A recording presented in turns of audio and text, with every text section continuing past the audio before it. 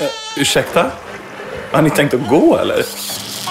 Jag har gått sönder. Jag behöver fackmannamässig hjälp. Stanna inte hemma på grund av en krånglande diskmaskin. Våra värdar släpper in rörmokaren åt dig. Flytta till en plusbostad.